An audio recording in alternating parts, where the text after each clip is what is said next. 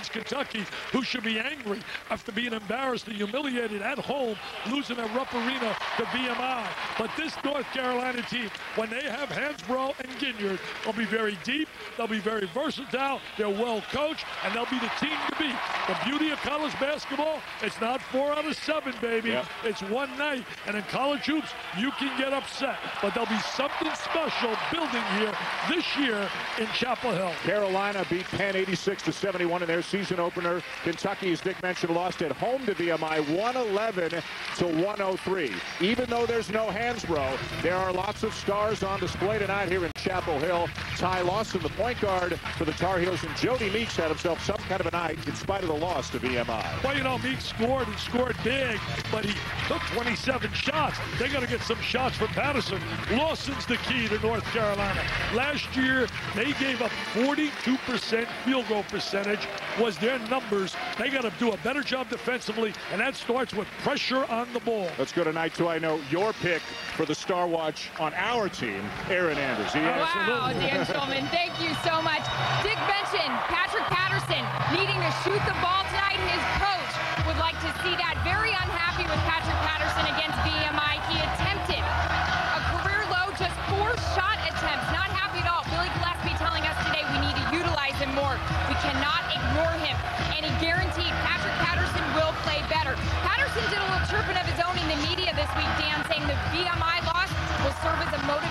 He also said that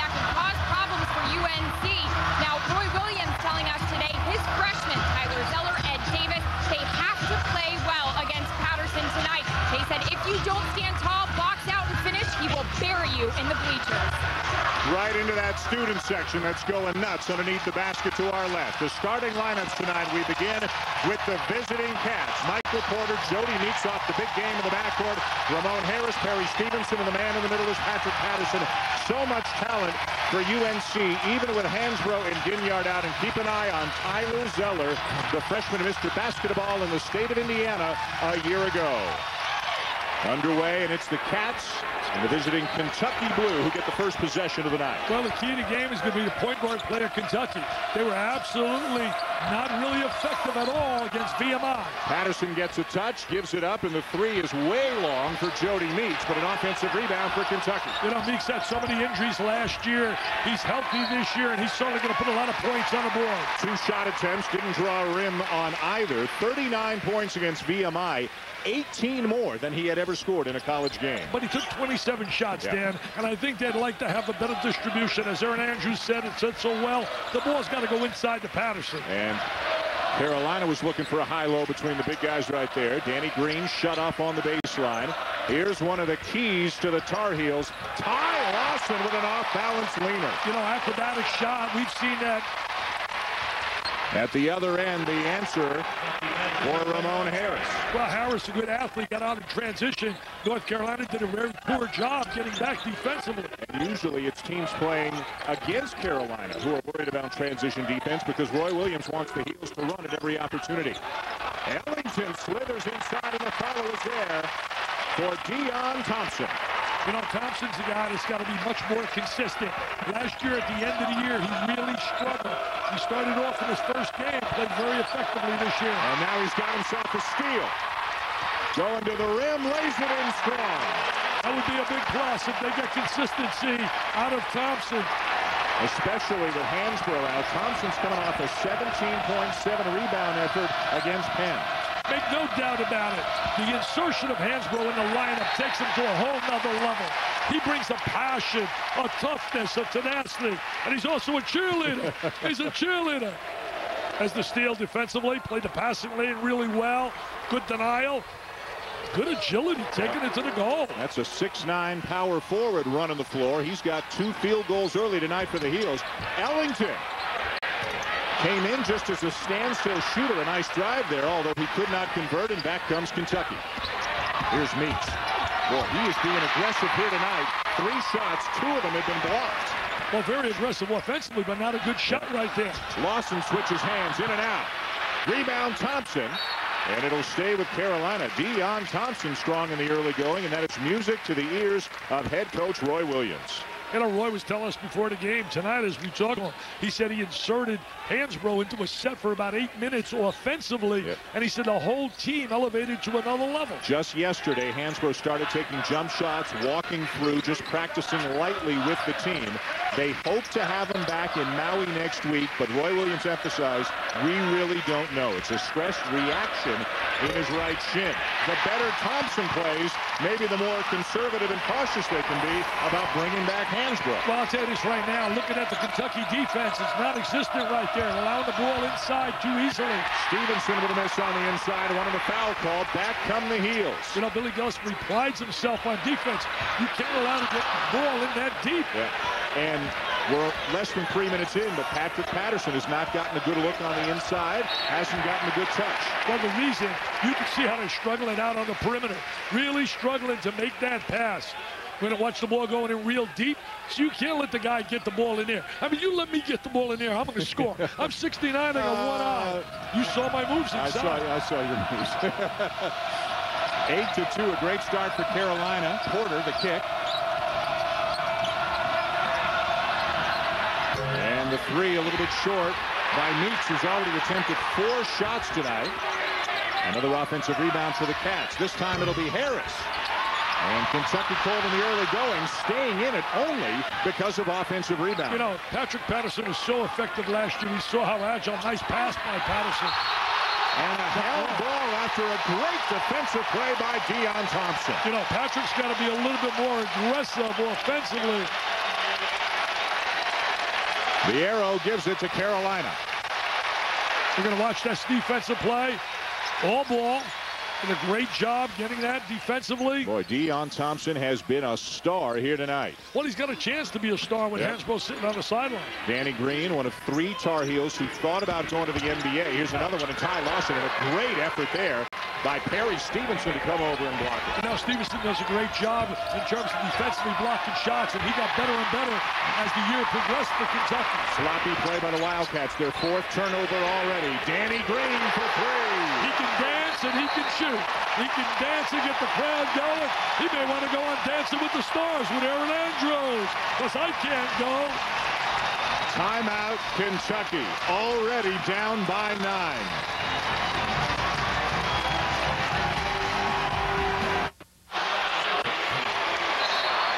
Kentucky losing at home to VMI in their first game, trailing by nine. Second year for Billy Gillispie at Lexington. He thinks this is going to be a better team, but they've got some point guard concerns. Well, you know, I think the key for them is going to be ultimately playing DeAndre Liggins at the point guard, the freshman.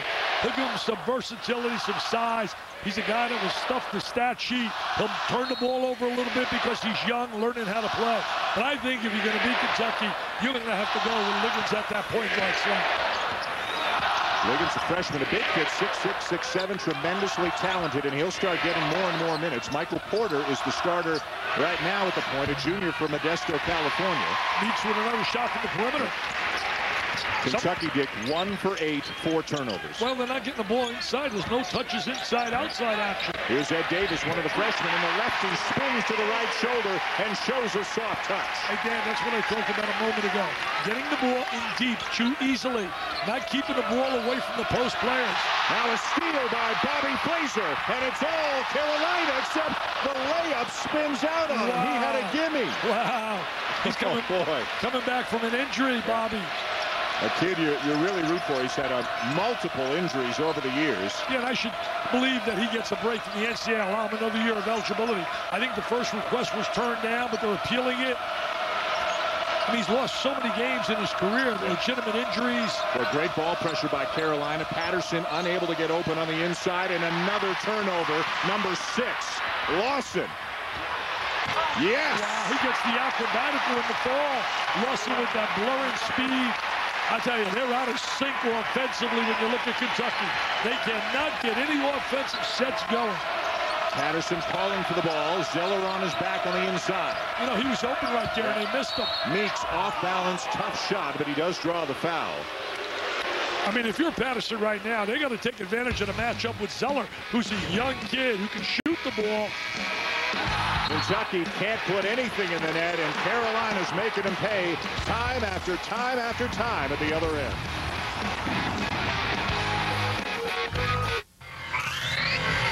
ESPN's exclusive presentation of college basketball is presented by the Samsung Behold. Amazing phone meets amazing camera. Enterprise Rent-A-Car. We'll pick you up.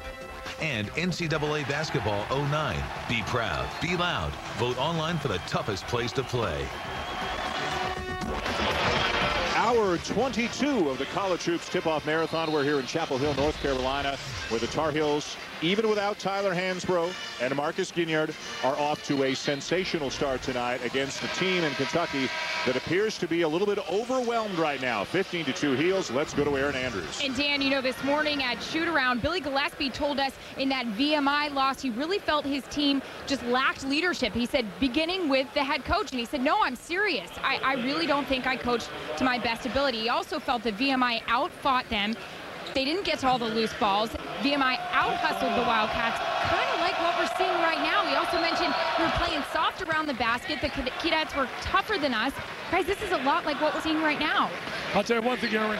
As a coach, don't blame yourself too often because after a while, people will just start to believe you, and you could be in trouble. I'll tell you one thing. Billy Gillispie's a fighter, scrapper, recruiter. He's got some great kids coming in next year. But I think Liggins ultimately is going to be that point guard and play for them at that perimeter position. Just remember this if you're Kentucky fans. They struggled last year out of the gate, and at the end of the year, they were 12 and 4 in conference play. And made the NCAA tournament, losing a close game in the first round of Marquette. We have some subs in as Larry Drew, a freshman out of Encino, California, has checked into the point for the Tar Heels and for Kentucky. Their top two freshman talents, Darius Miller out of Maysville, Kentucky, and the young point guard you were talking about, DeAndre Liggins, a 6'6 freshman from Chicago. That's him, number 34. He's got a little bounce to his game. Miller's a guy they think's going to become special. They want to allow him to get away. They jumped on him right away in recruiting because remember, came from the same school as Chris Lofton. They lost Lofton. Meeks is shooting or driving every single time he has the ball. Maybe that's a, a part of scoring 39 points his last time out, but he is really forcing some difficult looks. He's an offensive player. He's got offensive skills, but he's got to understand shots will come to him a lot better yeah. if he gets a little bit more interior play out of Patterson. Ellington, nice drive and kick, and the shot knocked down by Deon Thompson, who's already got eight. I think he looks really solid right now. Looks much improved from last year. Playing a lot, a lot of confidence. That defense is a lot better. I think North Carolina's defense Roy's got to be very happy with the defensive effort. They were the second highest scoring team in the NCAA a year ago, almost 89 points. And look at Ellington, who again came to Chapel Hill with a reputation strictly as a shooter, but he can put it on the floor and distribute now as well. Well, he created a two-man play here. Played in high school with Gerald Henderson from out of Duke. We'll see Duke in a few days in New York at the Coaches versus Cancer against Southern Illinois, UCLA, and Michigan in the second game Thursday night. Dr. Ben Howland loves his young kids. He thinks ultimately they're going to be very good. Are they as good as they were last year right now? He says, of course not. That way you lose Love and Westbrook and company. Ellington the miss. You'll do the second game with me. Who's the new guy we're working wow. into the first game on Thursday? I tell you what, he'll do a great job with you. Robert Montgomery Knight does the jam inside double figures already for a pumped-up Deon Thompson and Tyler Hansbrough's first up off the bench. I'm going to tell you two things are happening here in North Carolina. They're doing a better job defensively than they did earlier last year. And number two, they're making that extra pass, getting the high percentage shot. Kentucky, Dick, one of nine, seven turnovers. Well, that's what I'm going to tell you. Two factors with Kentucky. Not good ball distribution offensively yeah. and not doing a good job defensively. Here's another turnover. turnover turnovers. Here comes Drew. On a lot of turnovers tonight, and not Apple turnovers either. Drew tries to kick it back in. Thompson had it, lost it. The heels give it away. Here come the Cats. The number's not in their favor. Patterson wow, gets his first gets look inside. He finally gets the rock, baby. Somebody better introduce themselves to Mr. Patterson. But even that is a broken play. They haven't got him the basketball inside in the half court at all. I tell you what, he did a poor job defensively there. Never yeah. saw a ball you man. You must see both. Patrick turned his back to the ball. Played in high school with O.J. Mayo. He's right now making a strong run, potentially be yeah. rookie of the year. He is scoring in bunches in the NBA. First foul on Perry Stevenson. Ed Davis to the line for Carolina. The freshman who had a double-double, 10 points, 14 rebounds in his opening game against Penn. You can see his dad, Terry, played in the NBA, and Davis was Mr. Basketball in the state of Virginia a year ago. You know, he doesn't look strong, as Roy said, but he can really go up and grab rebounds. He goes laterally. He also can block shots. That's a dimension. They didn't have two factors, I thought, that are vital to being a good defensive team. They didn't have a shot blocker last year because Tyler Hansbrough's not a shot blocker. And number two, I didn't think Lawson did a good job pressuring the basketball. And that's why team shot 42% against them for the year. Now this year, Lawson healthier, a year more experienced. Again, he contemplated going to the NBA, as did Ellington, as did Green. They all came back. Here comes Green. Ellington open in the corner. That's like a layup for him. If he can square his body, it's like a layup. Look at that run and jump. There's that run and jump defense. I tell you, they're really out of sync. Yeah. And it's all because of Carolina's defense. Oh, showtime. Showtime. This club, can you imagine? You have Tyler Hansbrough. You have Marcus Ginyard. Are you serious, baby? And Chapel Hill, there's going to be a lot of fun for the Carolina fans. Wow. My friend, we're seeing him without the best player in the nation. Yep. We're seeing him without a defensive dynamite player. And they are absolutely explosive. Sharing the ball, forcing turnovers. Showtime, as you said. Ellington knocking it down. Thompson dominating inside. It's all Carolina here so far tonight. Well, I think a lot of it's due to their defensive effort. I think their tenacity defensively has really impressed me. On the other side, I'm really disappointed by North by looking at the offensive setup and the way they're executing for Kentucky. And I think the Kentucky fans, who are some of the most passionate fans in all of basketball, they do a great job, have to be really disappointed with the kind of execution and efficiency that they're seeing out of the Kentucky team. Obviously, a, a tremendously difficult test this early in the season, Hansbrough or no Hansbrough. Yeah, but there's no excuse for them losing no, to right. VMI. Yep. None whatsoever yep. at home. Now, Billy now Gillispie, Arena, you got to win that. Billy Gillispie says last year the Gardner-Webb loss was more devastating. He thought it was really a sign of, of trouble to come. This year, he thought the VMI game more of a blip. He does feel more confident in this team's ability than the team a year ago, even though Joe Crawford and Ramel Bradley have exhausted their eligibility. Meeks for three. He's right there, showing that range he has. Lawson forcing the issue, and he's fouled before the shot. A timeout on the floor. Carolina without their best player up by 16. More on the All-American situation when we come back.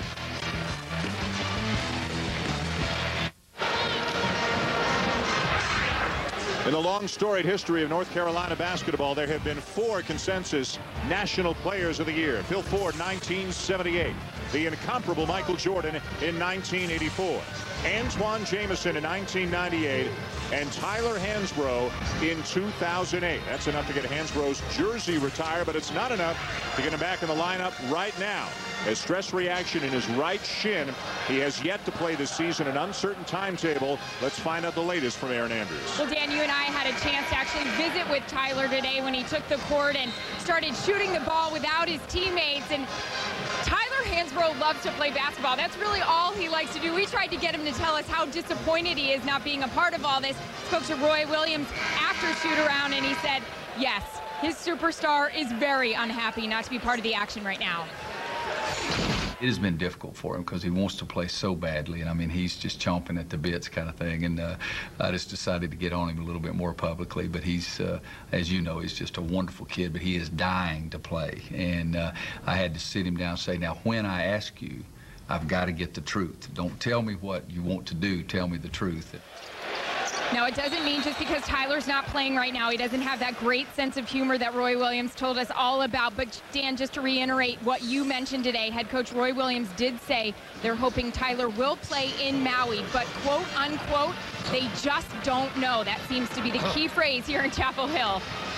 And Erin, it's the kind of injury, Dick, as you know, it's the kind of injury that could go away or it's the kind of injury that could linger and get worse. It's really something that it's up to Hansbrough to tell the coaching staff how he feels, and they want to be very, very careful about pushing him back too quickly. Well, he also gets medical advice from home as well. His dad's an orthopedic yeah. surgeon. I think it's great that he came back to school. But again, remember this, he came back. He's a little financial situation different than a lot of kids. And certainly uh, when kids decide to go out with a stroke of the pen, they can change the life of their family. I really don't like the one and done. It is great and very rare to see a player of the year return. The last guy to go back-to-back -back player of the years Ralph Sampson wow. back in the early 80s. In fact, Ralph is the only player ever to win three consecutive National Player of the Year's awards, and he's not in the National Basketball Hall of Fame. I think that's wrong. Hansbrough's got a chance to go down as Carolina's all-time leading scorer and rebounder if he gets healthy relatively quickly and has the kind of season that he had last year. Patterson a touch nice inside and a no-look pass with a slam to Harris. Well, see, that's the kind of execution Kentucky should be getting. You got a guy like Patterson who touches the basketball. He finds the open man. He can pass. He can score. Bring the ball inside to the big guy. Look at him posting up big and strong inside. There he is now with the dish. The defense rotated over. He has good vision. He's an excellent post player. He can be the best low post player in the SEC. Just picked up his foul, a foul, his first, and Danny Green will go to the line for the Tar Heels, one of the best sixth men in the nation last year, starting right now because Ginyard is out, but Roy Williams has options once Ginyard gets healthy, and they're hoping that originally it was supposed to be the middle of December, but Roy told us today he's a little behind schedule, had surgery for a stress fracture in his left foot. And it's kind of sounding now, Dick, like maybe it's conference play before Ginyard gets back. That's a lot of talent sitting over there in suits. Well, in the game of basketball, five players, you got 40%. Then you factor in the Hansbrough, you add another 20%. So that's about 60% of your team. I'll tell you one thing, Kentucky played a little better in the last possession. This game is far from over. I'm telling you, if they can really just find themselves in a half-court game, they get a little confidence. Meek starts making some shots like he did right there. They're going to work to try and get it down to 10 at halftime. Meeks now now with seven. Lawson. Zeller's got it. Older brother plays at Notre Dame. Tyler turns it over. Harris at the other end lays it in. Here comes Kentucky. Nice play right there. I see a little bit better bounce in his step out of Kentucky. A lot of that happened because they made a couple of plays in a half-court set. Gave them a little confidence. They started one for nine, Dick. Now they've made five in a row. Ellington, good help defense right there, but a foul is called. Well, the 2K Sports Classic benefiting coaches versus cancer is on ESPN2 Thursday night with both semifinal games. These are the four teams who won their regions. It'll be Duke and Southern Illinois, and then UCLA and Michigan. A great doubleheader.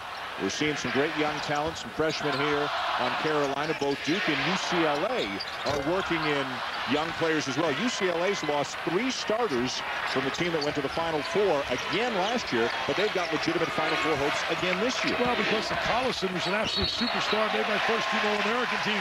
Jrue Holiday is going to be a special player. Good job defensively, rotating, taking the charge. You look at Duke. Duke's got a veteran club. Hey, when Greg Paulus doesn't start, that tells me yeah. you got a pretty good basketball team. Nolan Smith my, starting at the point right now. You know, they had a tough time with Jimmy Baron and company. Baron made eight threes. His dad does a great job coaching. And I'll tell you one thing, Baron is an unbelievable shooter for Rhode Island. Patterson sits down. Liggins goes out with his second foul. Porter is back into the point, and A.J. Stewart, a 6'7 sophomore out of Jacksonville, into the game for the first time for the Wildcats. You know, Porter's a kid that's going to give you everything he has, play with a lot of emotion, play hard, a little limited in terms of his skills. They've got another player, a junior college transfer, Kevin Galloway, who's a little bit behind Porter and Liggins in terms of how he has played so far. So he's number three on the depth chart at the point. You might even see, and they don't want to do this, but you might even see Jody Meeks at the point from time to time for Kentucky. Look at Thompson. He is having some kind of a night. He really is effective, offensively rebounding, getting a good post position. He's active. He's playing very confident, very active on that baseline. And there's a foul out on the perimeter by Tyler Zeller. You know, you talk about two of the winningest programs in basketball.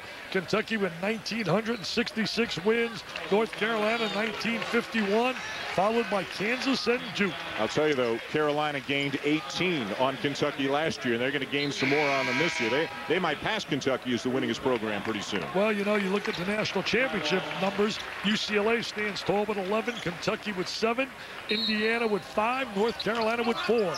Indiana with five because of our guy who works with us, Robert Montgomery Knight. Part of the game day crew here tonight, all the Saturday prime games in January, February, and also doing uh, select games in the early season and on Thursday nights in conference play as an analyst. Yeah, he'll do a great job, and I'll tell you this. I, I, I hope I don't get on the bandwagon about how they should name the arena after him, but Tom Crean, get it done. get it done down there. Green high off the backboard. Shot clock does not reset. The save the catch by Green. Eight on the shot clock. Open is Drew. His father was a heck of a player. Remember his daddy? Yep. Matty Drew played at Missouri. Roy Williams said to us earlier tonight, you know what? If, if any game gets into our 8, 9, 10 against whoever else is 8, 9, We're 10, good shape. yeah, he likes their chances. The young guys are the 8, 9, 10, but they're playing great. Nice clear out, nice drive right there by Porter, and it's only going to get better in the future. What a class he has coming in. First points of the night for Porter. North Carolina considered to have one of the top two or three recruiting classes coming in next year. Some people say the best of the nation. Davis inside. He's a lefty. Got it knocked away. Forced the pass cross court. And it's out of bounds to Kentucky as we go to a timeout. Here at the Dean Dome, a great start for the number one team in the nation, up by 14. Kevin Negandhi here, and here's what's happening on Sports Center right now. Texas defensive coordinator Will Muschamp has been designated the head coach in waiting when head coach Mack Brown retires. Muschamp is in his first year with the Longhorns. The Red Sox Dustin Pedroia won the AL MVP award Tuesday, becoming the first second baseman to earn the honor since Nellie Fox in 1959. Next Sports Center after the game, always stay current with ESPN News. Dan and Dick, back to you in Chapel Hill. Wow, Pedroia, MVP, he deserved it. I thought he deserved the MVP. year. I thought Ryan Howard deserved it. I love Albert Pujols' numbers, but I always believe to the victor goes the spoils. And what he did down the stretch in September, I thought Mr. Howard should have had that gold trophy. Welcome back to our coverage of the College Hoops Tip-Off Marathon presented by Samsung. Dan Shulman, Dick Vitale, Erin Andrews, the Dean Dome in Chapel Hill. It was an awful start for Billy Gillispie's Wildcats. They made a bit of a run, but now North Carolina has extended the lead back out to 14. Deon Thompson, statistically, the big story so far tonight, 12 points and six rebounds already. That's him with the ball right now, guarded by Josh Harrelson, big guy, number 55 for Kentucky. Drew almost turned it over. Thompson looking for help. Plenty of time. Nice bounce pass inside. Davis again spins to the strong hand and misses the jump, misses the hook shot from about 10 feet away. Allison, a big wide body. He can shoot the ball. Give him a high-low presence. He can shoot the ball up on top. Junior college player. He's a sophomore from St. Charles, Missouri. Porter using that off arm. The Carolina bench was yelling for an offensive foul. Patterson off to Porter, way short on the three. Got it back. Patterson's only taken one shot thus far. They got to get some better angles, bring the ball to the wing, and dump it into the post. And that was on a broken play. Again, in the half-court offensive sets, they have been unable to get the ball inside. He's got to be able to be a little bit more active and move. He's having to step out just to get a touch. Meeks misses the three. Good rebounding traffic by Davis.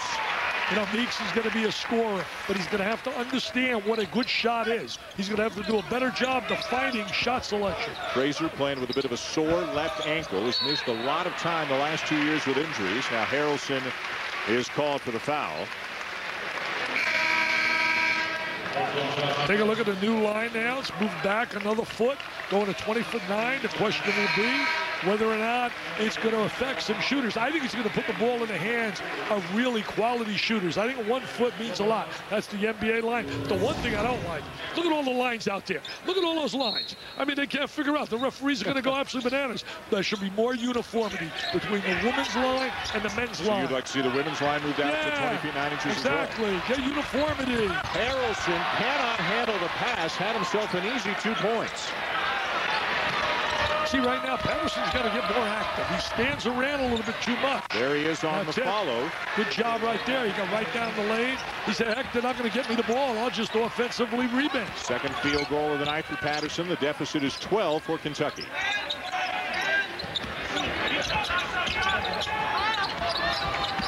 Lawson penetrates. Nice bounce pass. And the slam for Thompson. That's just terrific two-man play, all created by an offensive whiz who has the ability to break a defense down with his dribble penetration. Imagine what the day was like, and it was within 24 hours when Roy Williams found out Ty Lawson, Wayne Ellington, and Danny Green were all coming back to college instead of going to the NBA. Well, I'm going to tell you something I have a problem with. I don't like the length of time that young players can take in making that decision. I think that they should be able to make a decision a lot sooner. You end up holding the school hostage. That's right. I really think, you know, the ACC is proposing moving it up to maybe 10 days after the NCAA tournament. I think that's I a little too you. early, though. But at least within three three weeks, they should be able to make a decision.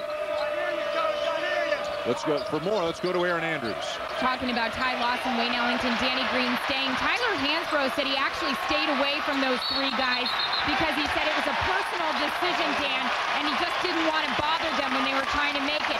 You mentioned what a day it was for Roy Williams when he got the news that those three guys were coming back to school. Party at Roy Williams' house. He even mentioned to us, Wow. can you imagine if those three guys hadn't come back when we had started this season with all these injuries to Ginyard and Hansbrough?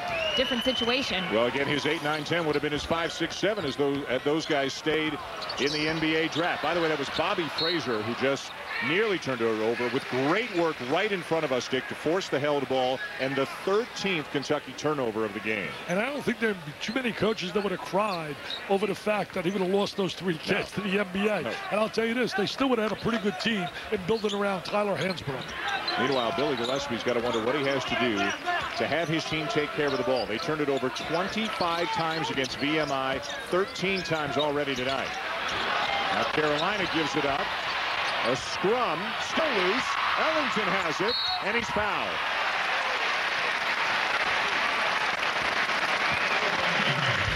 ESPN's coverage of the NBA begins at 7.30 Eastern Time tomorrow night with Kia NBA shoot-around. Then at 8 Eastern, it's the Mavericks taking on the Rockets. The second game at 10.30 Eastern, Derrick Rose and the Chicago Bulls, Greg Oden and the Portland Trailblazers, the last two number one overall picks in the NBA draft. You know, I don't think we're going to see kids of that quality this year in the freshman class. Certainly Tyreke Evans looks like he's going to be special man in Memphis. And there'll be a lot of good freshman players.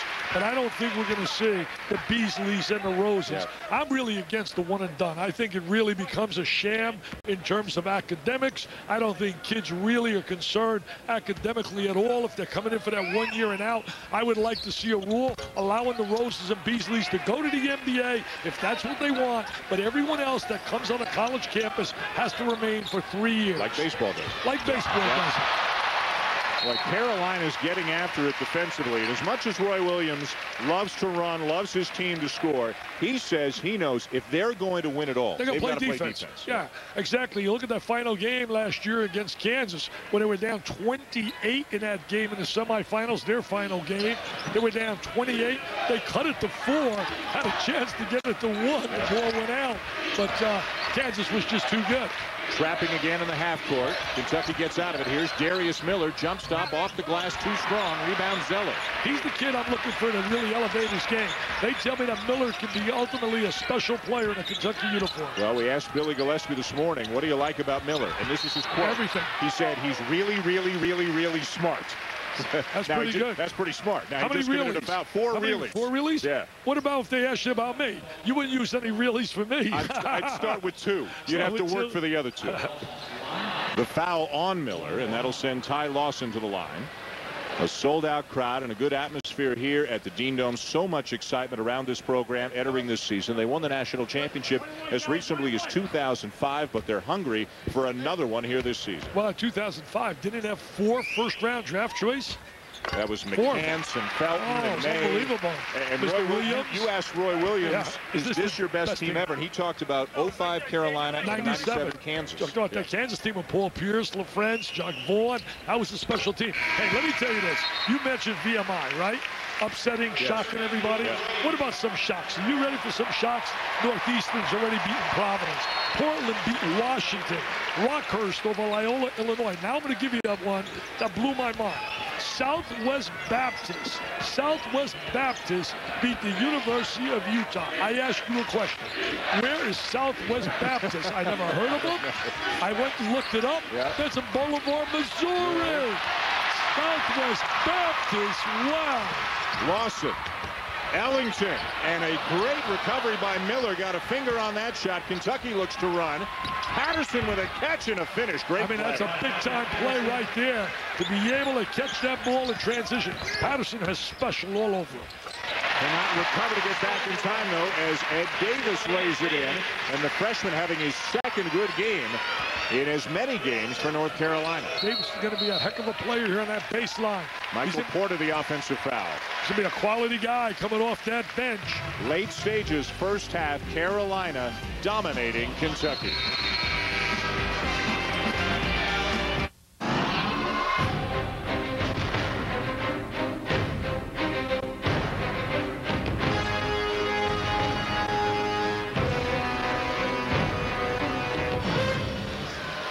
Two of the great programs in the history of college basketball. Kentucky with the most wins of any program. North Carolina second and gaining.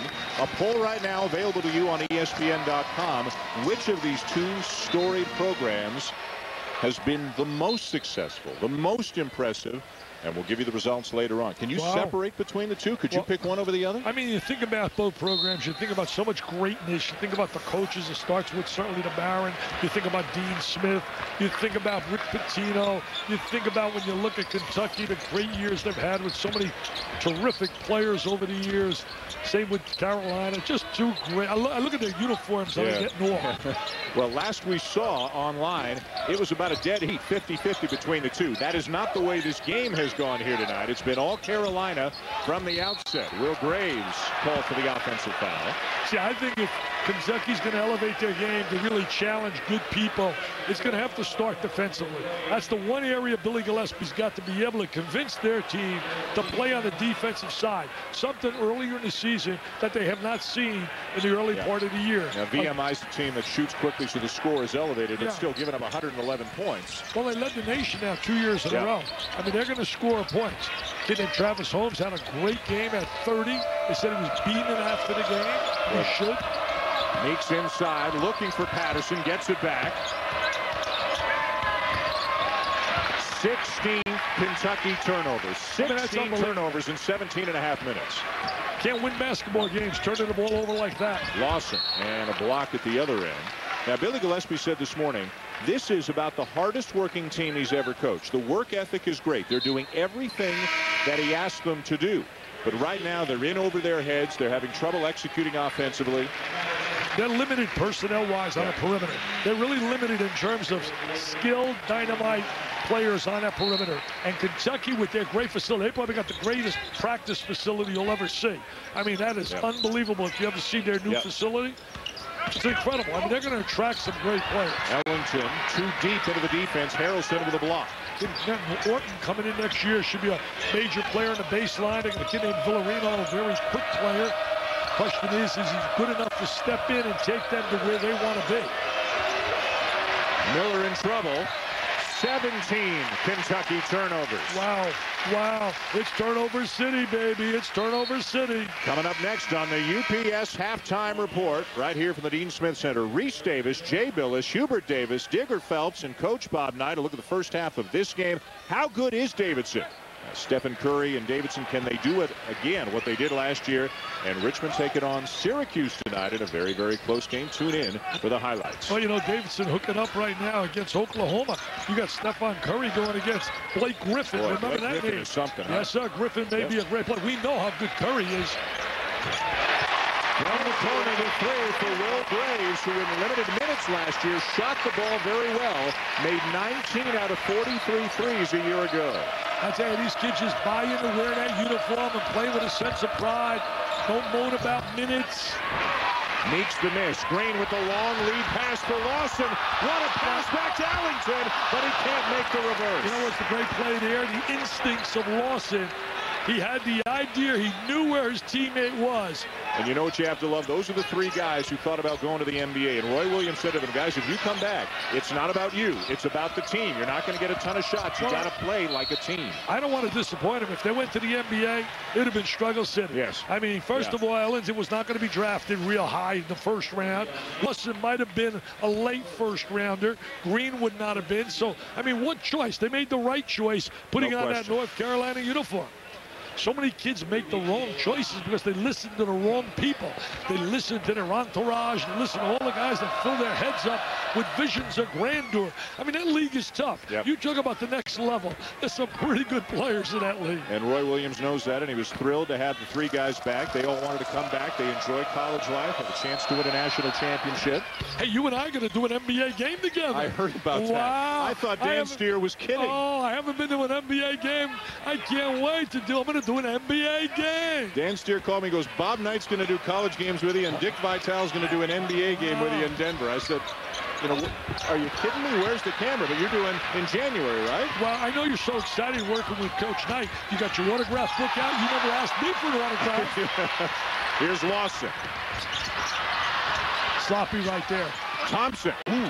And it is swatted away on the inside by Stevenson. Perry Stevenson, still a, a slender guy. He's bulked up a little, a little bit stronger, but he has really turned himself into a player for the Cats. Yeah, no, he became a real solid player down the stretch last year. Became a better scorer. We always knew he could block shots. Got a lot more confidence. I mean, Kentucky's a disappointment here tonight. I don't care any way you want to cut it for me. It's a disappointment Yeah. watching them perform offensively and defensively. They were down 15 to 2, so it was a disaster right out of the gate for the Wildcats. Deon Thompson's had the big night so far for Carolina, but everybody's gotten in on the act for the Heels. I mean, I wrote on my website, if you go to my website, a story about Kentucky prior to the loss of VMI, where I thought they're going to surprise people this year because of the arrival of now Patterson healthy, Jody Meeks healthy. I thought that cast with the addition of Liggins and Miller, I thought they were going to move up a level. But I'm going to tell you, unless they really regroup, now they got some wins coming up. I mean, if they don't beat the likes of Longwood and Delaware State, I mean, then there's trouble city. I mean, they lost last year early to San Diego, but that was not a, a- bad that's a loss. San Diego beat Connecticut in a tournament. San Diego beat Gonzaga. I was there. I spoke to the guns. I spoke to the San Diego team about four or five days ago, and I'm telling you, I'm very impressed with Bill Grier and his kids. They lost a tough opener. They lost to Vegas, and they played without two starters, Kid Tremaine Johnson and Paul May. And when they get them all back, they're going to be tough in that conference. West Coast Conference, Gonzaga, St. Mary's, San Diego. Final 10 seconds now of the first half that has been dominated by Carolina. I think the Zags are one of my teams right now. I'm talking about for a Final Four. Yep. With Heytvelt and Daye, I think Mark Few's club's going to be really, this might be a year a team like a Gonzaga really breaks in from a non-highly publicized conference and gets to the Final Four. And they're part of the Saturday Prime package after the new year. They'll host Memphis. We're going to all kinds of play. Coming back here to Carolina, going to Notre Dame. The Golden Dome, the Irish. Become a basketball school. Notre right. Dame's become a basketball school. My great. Yep. They're going to build a statue for him down here like they did for Lou Holtz. Meeks absorbs the punishment and will get back to the line. Roy Williams not happy with the call just a second ago. Roy is such a competitor. I think, as I told one writer who interviewed me, how lucky they are in this area to have two coaches of the stature of Mike Krzyzewski and Roy Williams, only eight miles apart, both solid Hall of Famers. Think about that, within eight miles apart. Both teams picked top 10 this year. Carolina, the consensus number one preseason. Patterson will go out for the final second. Roy, Darius Miller comes back in. Roy loved that 97 Kansas team. That was the team that was beaten by Arizona, and that was the year Arizona beat three number ones to be able to win the national title, and they were fifth in the Pac-10. And by the way, we want to wish the best to Lute Olson in retirement. Wish him nothing but health, happiness. He gave so much to college basketball. Good if it goes. It does not, but just about everything else went right for Carolina, including forcing turnovers. Kentucky coughed it up 17 times Wow. in a disastrous first half. And that's one of the reasons they are down 16 points to the break. Carolina actually could have more than the 41 points they have, but stifling defense, they have held Kentucky to just 25. Roy Williams is with Erin Andrews. 17 turnovers for Kentucky. What have you guys done to kind of take over defensively? Well, we're more active than we were in the first game against Penn, and it, it's got to be a frenzy for us. You're playing at home, the crowd's helping you, and now what we've got to do is take that energy level and be smarter on the offensive end. We missed some great opportunities, missed some free throws, but I like the frenzy that we're doing on the defensive end of the floor. Deon Thompson, a big first half so far. What's been key for him? Uh, make his free throws at the end, so I'm in a better mood. All right, well, I'm sure he'll tell him about that, Dan. All right, Erin, thank you very much. Well, all coaches have things to worry about at halftime, even if their team is playing well. Carolina's up 16. Rece Davis to the gang coming up with a UPS halftime report right after this break. ESPN's exclusive presentation of college basketball is brought to you by Bud Light. The difference is drinkability. And Verizon Wireless.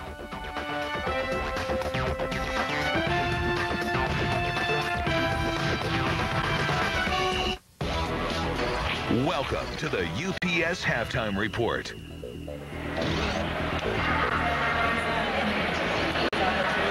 Tywon Lawson to Wayne Ellington on the alley-oop, and North Carolina has a 41-25 lead at the half, and honesty compels me to say the game is not as close as the score indicates right now. Rece Davis along with Hubert Davis, Jay Bilas, Digger Phelps, and Bob Knight. And Digger, unofficially, North Carolina forced Kentucky into turnovers in four of the first seven trips down the floor. First four minutes of the game took the Wildcats right out of it. Well, it was a silent forcer. We said that we're going over players for each team early, and look who took it up.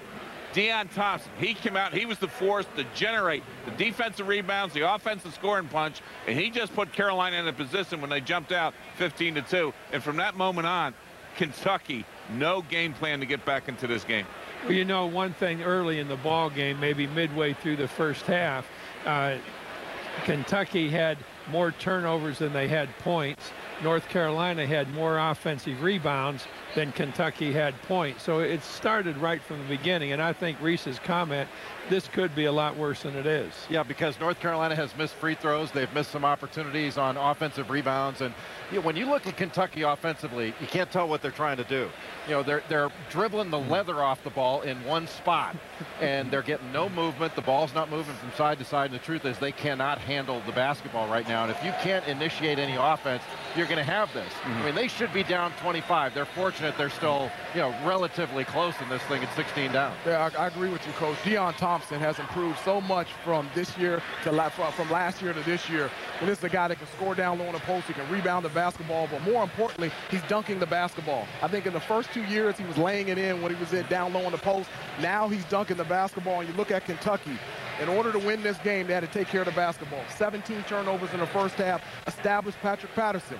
Six points, five rebounds, two fouls, and only three a shot attempts. And Jay, they haven't even gotten to the free throw line. Well, they can't see Patrick Patterson because their backs are to the action. Yeah. They are looking the other way. All Ty Lawson and other what? defenders have seen are, are the big numbers on their backs and their names. What you got to do? Kentucky. They're but, not facing the they're facing the basket. But here's how you avoid those turnovers. You go to a dribble entry, run the away screen for Patterson. You got to have him attack two freshmen. When you got Zeller and Davis, dribble entry, dribble you got to be able entry, to dribble. Nevertheless, no game plan to get the ball inside, no screen to get it inside. However, however, nevertheless, however, there is nothing they're going to be able to do to get this ship floating in the right tonight or the rest of the season. There's yeah. not a lot of hope right now. I mean, certainly not. You got that right. The season, I, they got they got issues, Kentucky.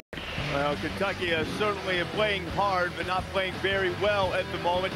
Stephen Curry and Davidson in a battle with Oklahoma. Get you up to date when we come back. This halftime report is delivered by UPS. What can Brown do for you?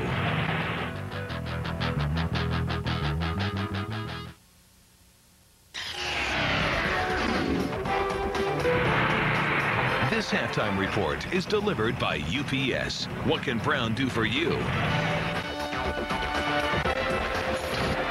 Back in Chapel Hill, it's not a good thing if you're Kentucky and you have more turnovers than you do field goals and assists put together. 17 turnovers. Near five assists, and North Carolina is slamming Kentucky 41 to 25. Davidson playing Oklahoma over on ESPN2. Steph Curry, star of the NCAA tournament run a year ago, and Blake Griffin, Jay, an opportunity to be a Player of the Year candidate. Well, he's just a monster. He's averaging almost 19 rebounds per game, 85% from the field in his first two. He's a great, great player. That quick release from Curry inside to tie the game at 11. What about the freshman Willie Warren? Well, I mean, this is a guy that can shoot from the outside, and you have that inside-outside tandem for Oklahoma. This could be the favorite in the Big 12. Seven-point lead for the Sooners right now. You look at Davidson right now. How good do you think they are compared to last year's team? I don't think they're as good as last year because they lost Jason Richards, the guy who had the ball in his hands all the time, and Thomas Sander. He was the guy that set all the screens that Right. got uh, Stephen Curry. Curry open. Right. Well, as far as the mid-majors this year, Digger, anybody you see stepping up making some noise? I think Middle Tennessee's going to surprise people. When you take a look at what they've become, they got five seniors on that team, starters back, and Desmond Yates, a great player. Middle Tennessee from the Sun Belt is going to surprise people, not just winning the conference, but ending up as a first-round win in the NCAA tournament, moving to that second round. Uh, I know it's very early. You don't want to overreact. As Coach said in the pregame, you need 10 games or so to know what kind of team you have. But right now, Kentucky is not very good. They're down 16 here to North Carolina. What have you seen in the first half that stuck out to you, Coach? No, the one thing I think we have to be careful of here, Kentucky's being beaten by the best team in the country, the very best team in the country tonight. Now, what they have to do is go back from this, whatever happens in the second half, and say, we don't have to play North Carolina again. We've got to get to a point where we can start beating the teams on our schedule, and they're going to have to do that in practice. Their practices are going to have to be better. They're going to have to get better through practice between now and these games coming up the rest of this month and in December. So Kentucky uh, schedule is not going to be quite this tough. Still, we have Miami and some other big games coming up. We come back, we'll uh, get you ready for the second half and see if North Carolina can continue to put it on the catch or maybe KY has a rally.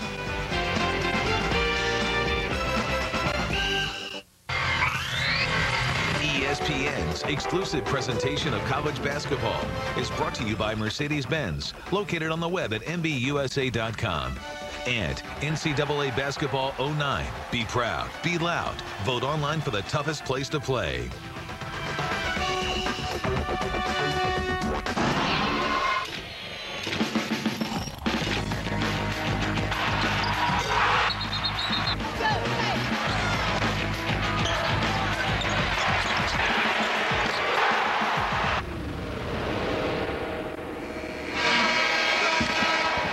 Welcome back to ESPN's College Hoops Tip-Off Marathon, presented by Samsung. Behold, we're here in the Dean Dome. Dan Shulman, Dick Vitale, Erin Andrews, excited to be bringing you this game.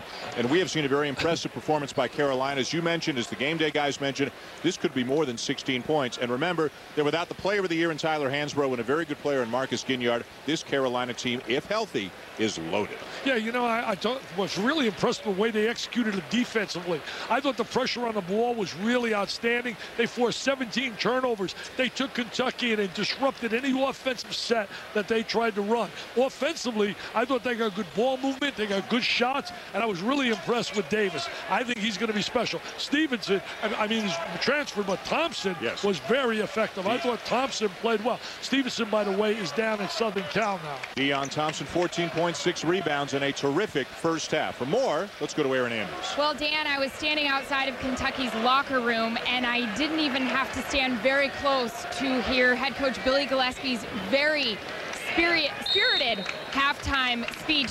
Dan, I haven't really heard anything quite like this before. If the paint was peeling from that wall, I got to tell you, basically the message was you got to keep your poise. You can't get rattled, and we need you to battle back.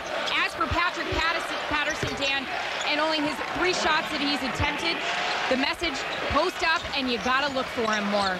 I tell you, I heard some things in there. Well, it was unbelievable. Family show, EA. Keep it to yourself. Patterson only shot three. He made all three. And a good start of the second half for Kentucky as Meeks knocks down the three. Now a foul on the inside going against the Wildcats. What are the Tar Heels doing to keep Patterson from getting the ball? Well, they're doing a great job disrupting the perimeter passing ability. They can't get the ball inside. See right there, he was wide open, clapping his hands, but they missed him. So here he is trying to get post position.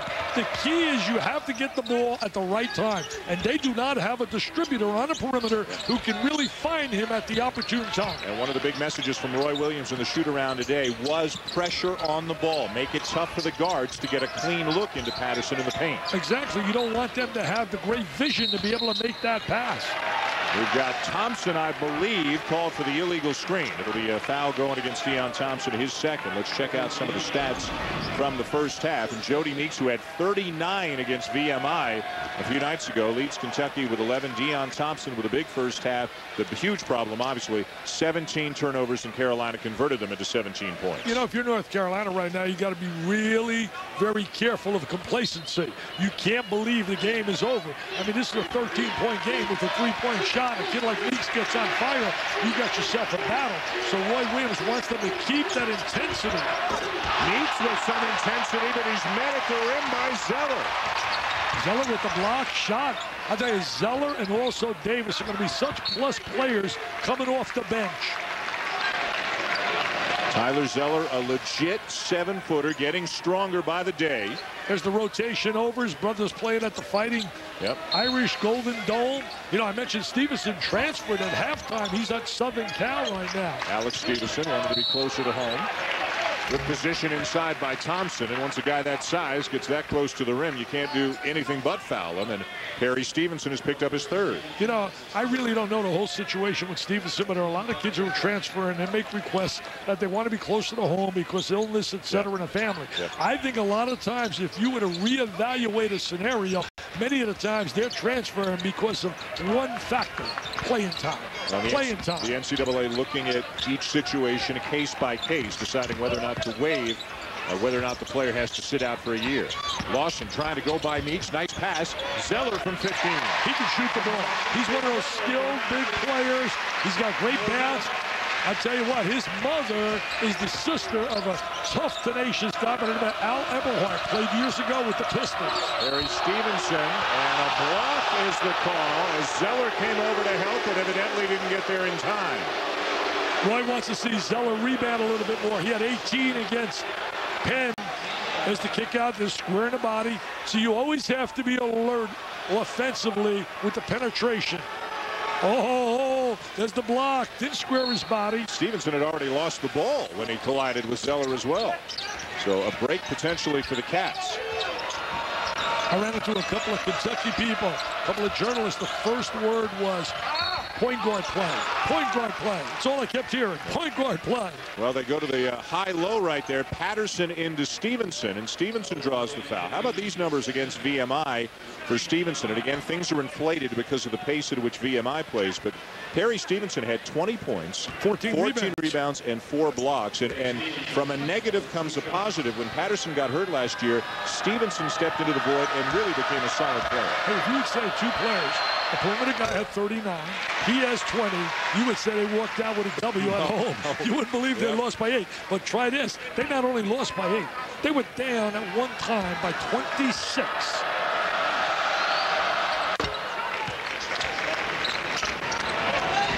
A 14-point deficit. It could be worse for the Wildcats. And Lawson is fouled. Will it be Stevenson or Meeks? Ty Lawson's got great control of that basketball. You think about Kentucky and that SEC, Tennessee with Tyler Smith certainly going to have a yep. big year. They're going to get Scotty Hopson from out of Kentucky, who they think is going to be special. Florida's Bobby, got a lot of young talent yeah, too, don't you think? Bobby Maze playing now, yep. former Oklahoma player playing for Tennessee. Florida, Calathes and company. They lose Jai Lucas, but Lucas really wasn't happy that they moved him over to the second slot to put the ball in the hands of Calathes. But Calathes, Werner and company, they're going to be a good basketball team. Number four on Stevenson. So a valuable player has to sit out for an extended period for Kentucky. Thompson left wide open. Missed the baseline jumper. Danny Green hits the floor hard, but he's okay. Out of control at the other end. It will stay with the Wildcats. They need a spurt. Somehow they got to get a spurt going. And Billy Gillispie's got to find a way to get this club with some good athletes to really extend defensively and to really play with some emotion on the defensive side. Well, another turnover is not going to help the cause. Wide open Ellington. Steps in for the mid-range jumper. It's sweet. It's nothing but nylon. MBN. Mr. Ellington. One of the great shooters in America. He's got eight tonight. He's got a name of one of the great jazz people of all time. The Duke of Ellington. 19th turnover. Watch how he squares his body. Great. Look at the little fake right there. Look at him square his body. Oh, what a great look. What a great look. I love the way he squared his body. He went through a time last year where he really struggled with his shot. He was really rushing it. And he struggled in the first game against Penn, went just 5 for 15, scored 13 points on the night, but always a threat to light it up. They like playing with each other. You can see that they really enjoy playing with each other. That bad shot right there. And Zeller with a bad foul. Number three on Tyler Zeller. I mean, you can't talk enough about what the presence of Tyler Hansbrough does to this team. I haven't seen many a player in my career at ESPN, it's my 30th year, that placed the passion of that young guy, plays with his feeling on every possession, plays it like it's the most important possession, and that becomes contagious to everybody he plays with. And again, if you weren't with us earlier, he has a stress reaction in his right shin, did not play, has not played, again, for the latest on when he might be back. Let's go to Erin Andrews. Well, Dan, just to reiterate to everybody, Roy Williams told us today he would like to get Tyler Hansbrough on the court with his teammates in Maui. But the key phrase, you just don't know what's going to happen from there. And guys, I wanted to add, you know, I said to Billy Gillispie today, is this the time to play North Carolina with Tyler Hansbrough out? And he said, Dan, honestly, I wish Hansbrough was playing. He's one of my favorite players to watch, and he's such a great example to prove to other college kids, hey, come back. Play for your senior year. You know, the NBA can wait. Dick, I know you love that. Well, I'll tell you one thing. I would have done, Erin, if I was coaching, you asked me that. I said, I love Tyler, but I want to see him on video, and I don't want to see him against my club. I want to see him the next game. Count the basket for Ramon Harris, but a great point made by Billy Gillispie that he's worried that Hansbrough getting hurt will make some juniors worry about coming back for their senior seasons. And Billy Gillispie, obviously, as a college coach, wants to see as much talent in the college game as he possibly can. I think kids really got to listen to the right people in making those decisions. Looking at North Carolina, you don't win with just a bunch of individual stars. You win with guys that buy into the system and play as a unit, have some good role players. I mean, it's not in baseball. The Yankees have a selection of all superstars. That'll go get Sabathia and Teixeira. But you know what? You don't win in October. You win with role players as well, like when they had Brosius and they had O'Neill. Give the Rays like some the love. Rays, Give the the Rays Rays, some love. the Rays. That's right. The Rays were a perfect example of $40 million payroll. You sat through nine years of bad baseball. You deserve it. I couldn't give away my tickets. Now everybody wants them. Lawson short on the floater. Patterson rips it down.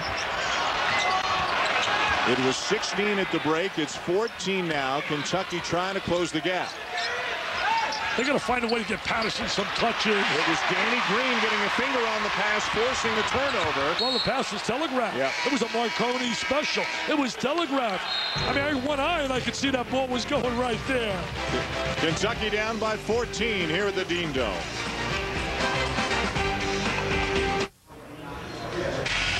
Kevin Negandhi here in the studio on E ESPN2, a top 25 matchup. Living up to the billing, number 14 Oklahoma leads number 21 Davidson 38-32. Steph Curry with 17 points. Blake Griffin 4 points but 10 rebounds. So right now, Oklahoma in complete control. Next Sports Center after the game. Let's go back to Chapel Hill. Dan Shulman and the mayor of Sarasota, Dick Vitale. hey, tomorrow you going to come to me to Sarasota? No, no. New York. Siesta Key. I'm going to be at the Broken Egg signing my new book, and I wanted you there to treat you a nice omelet. Come down there 10 I'll tomorrow take a morning. I'll be down. I'll be down. Uh, you got to come down. I got to bring Dan Steir down here too, our coordinating boss who gives us our assignments. He is our coordinating boss. You know, Mike and Mike told me they're going to come down to the Broken Egg. They've heard so much about it. Those guys do a phenomenal do. job. I'm there every Monday Yeah. morning with them. They're Great terrific. listen and watch. They're terrific people too. Miller the kick. Meeks not shy tonight. In and out on the three. Rebound Davis. I really don't think you want him to be shy. I think he's their one real offensive threat. He's just got to be able to, to find a better shot. That was a pretty good shot right there. Injured a lot of last year, only played 11 games, had a, a hip injury, needed surgery for a hernia as well. He's talented. I think this Kentucky team's going to get a lot better than what we're watching here. Lawson inside, had it altered, got it back, reverses, and lays it in. Nicely done. Well, the one thing he possesses is great body strength that he can convert in traffic for a little guard. Pounding Porter now at the other end. Five minutes into the second half, a 16-point lead for Carolina. And to me, that's been one of the factors here tonight. The pressure by Lawson on the ball, much better than I watched last year. Harris, a baseline drive, and he's called for the offensive foul. Now, one of the saddest moments in recent history in the Kentucky basketball program was the passing of Bill Keightley, Mr. Wildcat, the equipment manager since 1962, but so much more than that for Kentucky basketball. His chair will not be used this year. Kentucky players, the K on their uniforms is in black this year. One of the most beloved people in the history of the Kentucky program. Oh, just a love guy. I used to love always seeing Bill. He always had such a warm comment. He's so generous, just a beautiful human being. I know when Rick Pitino was there, he just loved him and wearing a patch in his honor. It's great to recognize people that play a factor in a program that a lot of people aren't aware of. And he was such a vital part of Kentucky basketball for so many years. You can see the Mr. Wildcat patch and the K in black on the Kentucky uniforms. Let's go to Erin Andrews for more. Dan, just to add, you know, this is Kentucky's very first road trip since 1962 without Mr. Keightley. It was something everybody was talking about today at the shoot-around. A lot of great memories, a lot of good stories. Billy Gillispie talking about how he wasn't stingy with the equipment. You see a big three right there, but he was also very cautious who he gave it to. He gave Billy Gillispie three pairs of socks last year. That was it. That's all he got. Billy Gillispie said a couple months later, he said, hey, I, I need some more socks. Mr. Keightley said, I gave you three pairs at the beginning of the season. Wasn't that enough? I'll tell you one thing, Erin, he was like Santa Claus with me. He gave me a lot of Kentucky shirts and sweaters. I tell you, I loved them. Well, more turnovers. It continues to play Kentucky. They've coughed it up now 23 times. Just seven assists for the Wildcats. Thompson with the soft touch on the baseline jumper. He's really got that quick move. A turnaround Jay. I tell you, who are you going to beat turning the ball over 23 times? Nobody. You can line up with Dan Shulman, Dick Vitale, Howie Schwab, Dan Steir. We could take Rece Davis, Jay Bilas, and we beat them and turn the ball the over. I mean, come on now, 23 turnovers? 52-33 Carolina. Carolina gives it away. Ramon Harris. He's a good athlete. But I was saying earlier, I really think the Kentucky team, Billy Gillispie will have a way to get into their heads, and get them a play on the defensive side. The key is going to be trying to find some point guard play. He has to find that to be able to get their game. But remember this, they're not going to be playing the likes of Kentucky, of North Carolina. His track record suggests he'll get it done. He resurrected UTEP and, and brought Texas A&M to, to heights they hadn't been in many, many years. Can he do it at Kentucky to get them back to the heights that Kentucky fans have become so accustomed to over the years? I think the key player is going to be DeAndre Liggins. He really was highly rated out of high school. He's a youngster that can handle the ball at 6'6". He's got some skills, and they're going to have to really let the learning process take over and allow him to make some mistakes. Third foul on Darius Miller. Wholesale changes now for Carolina. Drew, Zeller, and Green are in. Stevenson, who's got four fouls, returns for Kentucky. I really believe the when you look at this team here, the complexion of this team, North Carolina, without Hansbrough, without Ginyard, I would go on record to say they would be a legitimate top 20 basketball team.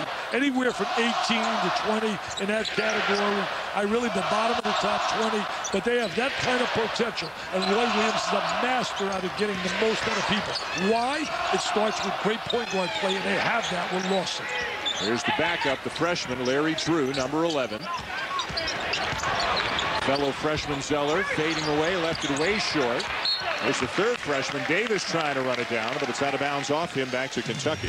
A chance for us to tell you about ESPN's coverage of the NBA tomorrow night, a doubleheader that begins with it. Kia NBA shoot around at 7.30. Dallas and Houston early, Chicago and Portland late. Also available on E ESPN360.com. Mr. Artest has been a real plus for the Rockets. He gives them a defensive presence on a perimeter. You got Rose, who's really a terrific young player with the Bulls. They got a host of young players. Hinrich's out, though, with an injury, is he not? So Ben Gordon now starting and scoring in a bunches for the Bulls, still trying to find their way. And Luol Deng as well. Yep. Vinny Del Negro coaching, one of the Jimmy V's guys. By the way, the V Foundation now over $80 million has been raised. And we'll be there December the 9th, I oh, think, Oh, is the date wait. in New York. Stephen Curry will be there, right? Davidson's Yeah. taking part in the Jimmy V this year. Also, Villanova in Texas will be there. Rick Barnes, what a job he has done with that Texas program. They got a kid I think is going to be really special this year, Damion James. I don't think he got half the publicity or notoriety that he really deserved, and I think he's going to be special along with A.J. Abrams on the perimeter. James is a double-double machine. Liggins is back into the game and now for the Wildcats. See if that gives him any kind of a spark. That's him with the ball. Well, he gives him size on the perimeter as well. He's got to get some confidence to his game. Everybody on the floor is at least 6'5 for Kentucky. Shot clock at six. Nothing coming easy. Patterson from 12 feet away He makes gets, it count. he gets touches, he'll score. Now, it was Liggins' size that made that happen. Nobody's guarding wide open. Are you kidding me? Wrong guy Are you kidding me? open. I mean, you can leave Dan Shulman open, but you better not leave Wayne Ellington open. and you better not leave Dickie V open, because he can shoot the ball with one eye and the ball don't. Meeks with the answer at the other end. Back to Patterson for a moment. He's five for five tonight. I mean, when they get him the ball, as you say, he's scoring. Yeah, he's got to get touches. They got to find the moment when he's open and get him that ball. A comfortable lead for Carolina continues here midway through the second half. Dick's thoughts on the world of college basketball. These views when we come back.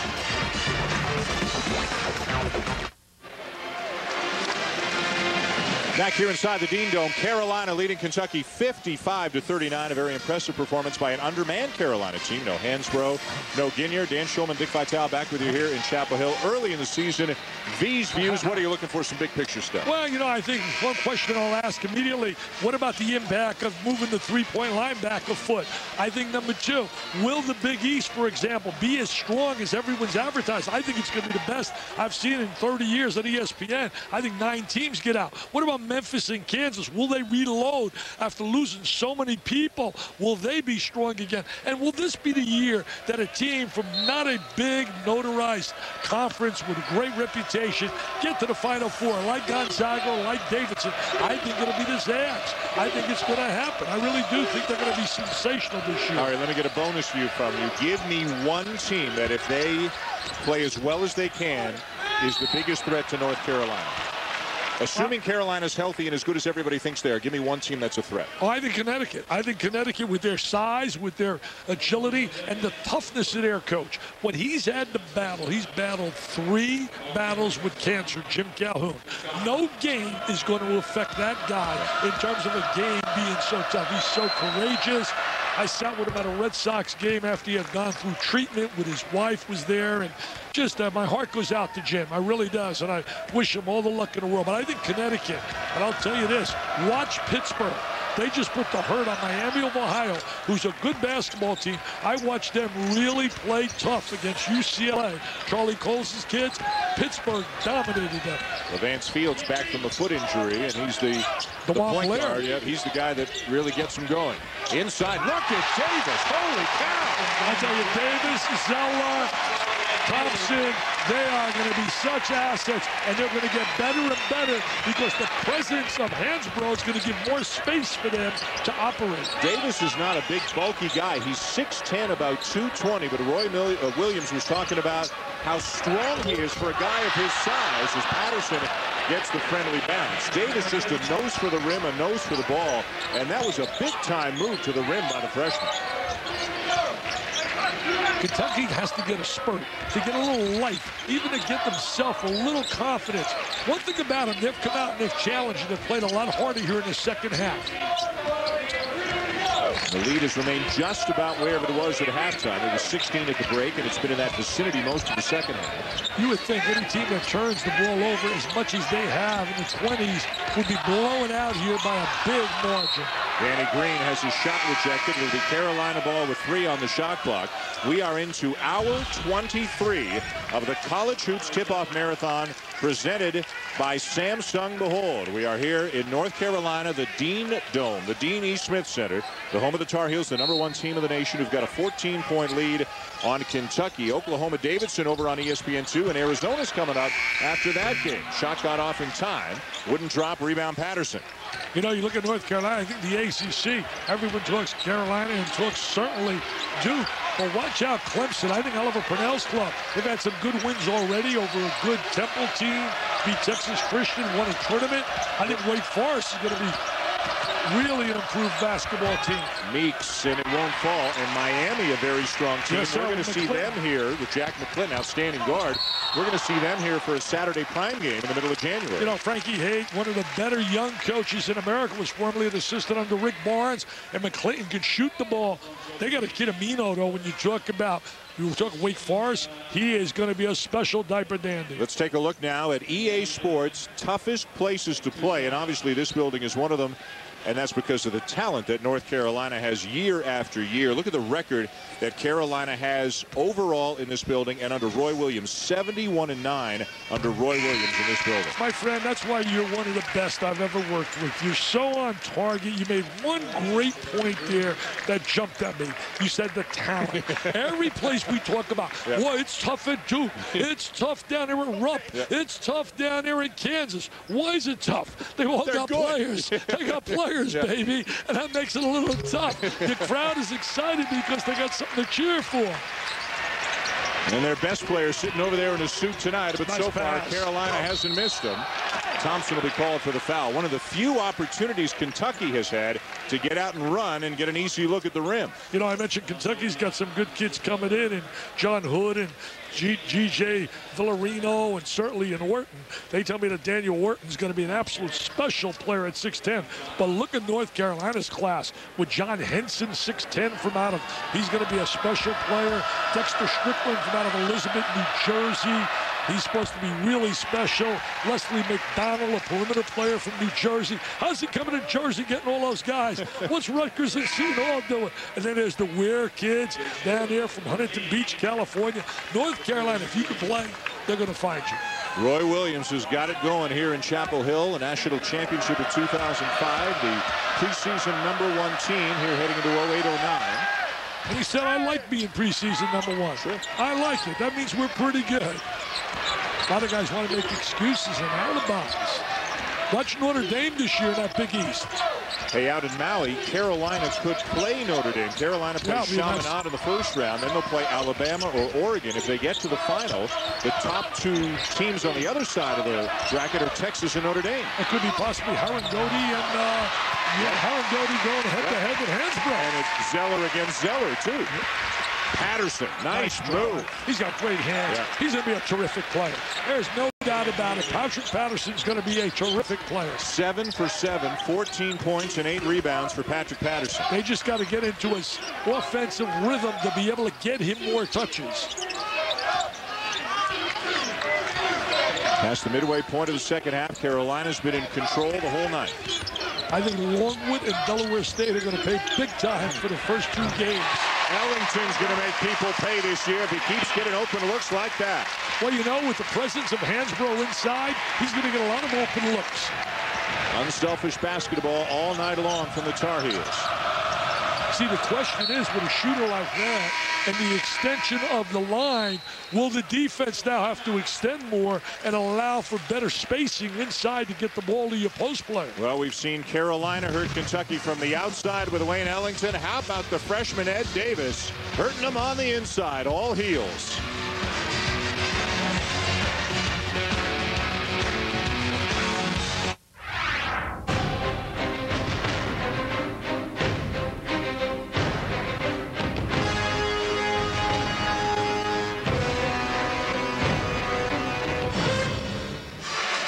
Well, Kentucky and North Carolina, two of the great programs in the history of college basketball. Go online right now, the poll on ESPN.com. Which of these two programs has been the greatest between the two of them over the course of their long histories? Can you imagine the argument between Carolina fans and Kentucky fans over that? Well, I don't think a Kentucky fan's going to say North Carolina, or North Carolina No, fan's not going to say Kentucky. But they'd get it. And now tonight, it's been a mismatch. It's been all Carolina. They're up 18.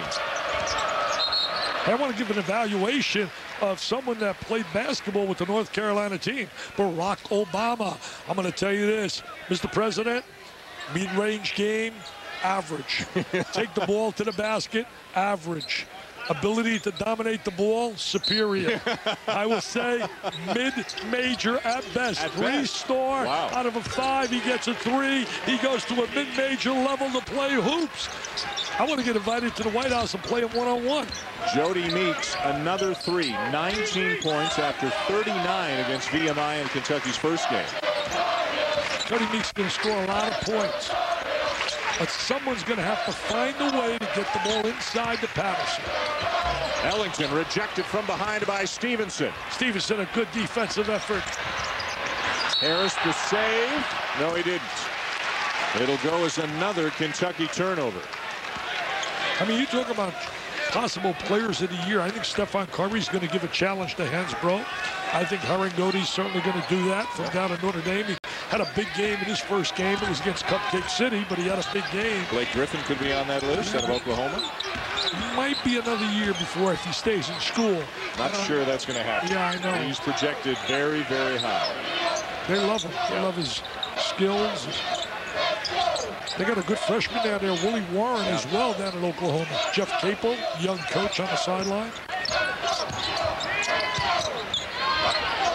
Thompson's had a big night. Misses the turnaround. Rebound Meeks. They've been unable really to blow Kentucky out, but Kentucky's been unable to make a run and get back into it. It seems as, as if it's been between 14 and 16 the whole half. Patterson again, he still hasn't missed. Eight for eight. They did a better job. They found him right away. There was a little rhythm to their offense. Crowd getting a little restless now. Lawson using the screen, missing the elbow jumper. Rebound Kentucky. See, they need to score right here. Get a little confidence. They haven't been able to get a spurt. He's trying to post a little bit more effective inside. He missed him. See how he was wide open? Meeks comes off a screen. Not there. As soon as that big guy makes that spin move, he makes that single reverse and posts his body, the ball's got to be to him. The best guy I've watched in my 30 years in feeding the post was up at the Dome, Syracuse, Pearl, Pearl, Washington. Oh, the Pearl. He made my top 50 in my new book as one of the best 50 players in my 30 years. Big, big book signing today in Chapel Hill, right? Yeah, went great. Little short for Zeller. Stevenson with another rebound. Kentucky is 10 for 16 shooting here in the second half. Billy Gillispie will take a timeout. If they could have hung on to the basketball tonight, they'd be right in this. As it is, it's down to 13.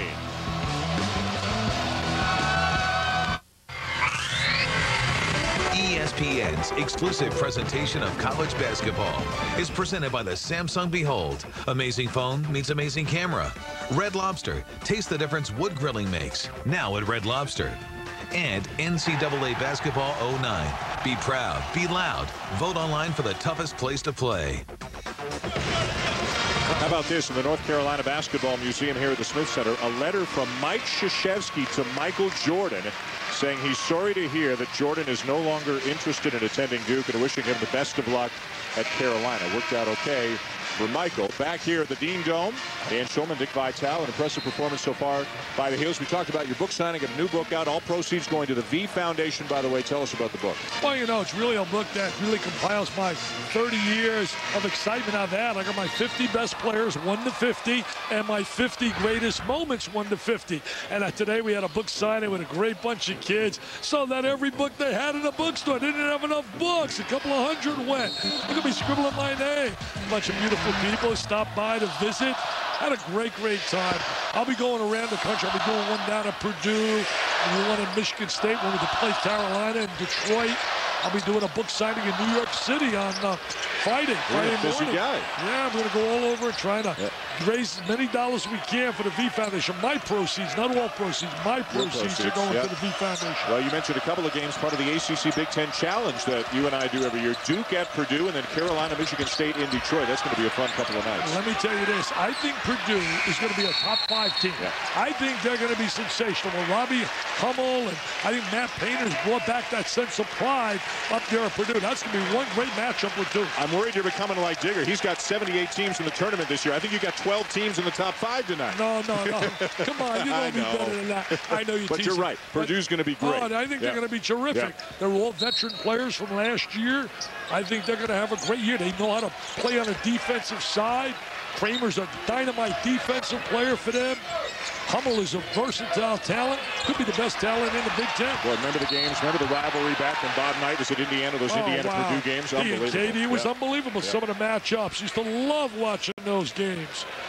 13 point lead for Carolina, less than five minutes to go. Let me Here say the this. Dean Dome, Liggins called for the foul. You know, you said Bob Knight. I sat with Bob Knight for 10 minutes tonight upstairs. In 10 minutes, you learn so much about the game of basketball. And I want to say this as well. His good friend, the guy that was a mentor, Peter Newell, lost his life yesterday. And I'll tell you, the game of basketball was so much better with Peter Newell for what he has done for the game. He's impacted so many coaches with his philosophy, his teaching ability, the big men that he's really affected over the years with his big man drills. When he spoke, it was like, I mean, everybody listened because he was such a masterful communicator, and we sent our sympathy out to his family. And I know Robert Montgomery Knight really thought of him like a second father. It was like a mentor to him in basketball. He used to be with him all the time. In fact, the last time I saw Pete Mill was in the presence of Coach Knight. That was about seven, eight years ago, I guess. Patterson follows but misses his first miss of the night. Oh, look, look at, at the speed. Uh, Thompson there to clean it up. Thompson says, thanks a lot for missing that, Ty. Gave me another deuce. 18 now for Thompson, a career high. Patterson's missed two in a row, two right around the rim, and now Carolina's got it stretched back out to 17. I will tell you this, Kentucky will make the NCAA tournament. They will find a way this year. They have too much talent. They just have to get a little bit more rhythm. They will find a way to get their 18th consecutive year to a tournament. Arizona has the longest at 24, and that could be in jeopardy this year. Kansas has 19. It's going to be interesting to see how their young people get better and better. And then you talk about Kentucky at 17, Duke at 13, and Michigan State. And by the way, Michigan State and Purdue are going to be one battle in the Big Ten. Time now for the ESPN The Magazine. Big number. The number in this game is 11, which is the combined number of NCAA titles won by these two great programs.